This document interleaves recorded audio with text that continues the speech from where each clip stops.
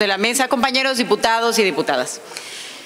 El día de hoy, 19 de noviembre, celebramos el Día Internacional de la Mujer Emprendedora, declarado por el Consejo de las Naciones Unidas, el cual surge por la necesidad de reivindicar y visibilizar el importante papel de la mujer en el ámbito económico, empresarial y de negocios, por la necesidad de emprendimiento femenino como una herramienta social para romper con los prejuicios sociales.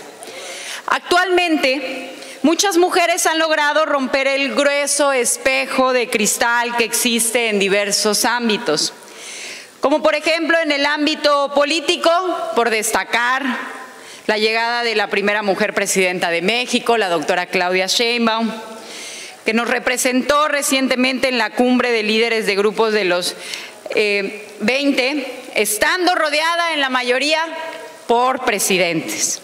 O tal es el caso en el estado de Quintana Roo, donde tuvieron que transcurrir 48 años para que por primera vez nos gobierne una mujer, Mara Lezama quien ha logrado posicionar al Estado de Quintana Roo como la entidad con mayor crecimiento económico, turístico y social.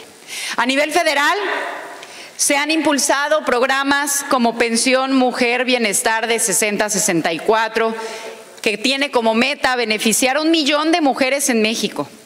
El bienestar infantil, un programa destinado a hijos de madres trabajadoras. A nivel estatal, Mujeres Poder, que proporciona apoyos económicos a 50 mil mujeres para el empoderamiento de las mujeres, con autonomía económica, poder de decisión, para que vivan en armonía.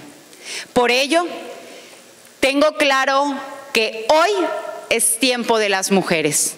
Más que nunca, cuentan con el apoyo del Estado para salir adelante con muchos proyectos que fortalecen el empoderamiento de las mujeres, no solo en palabras, sino en acciones.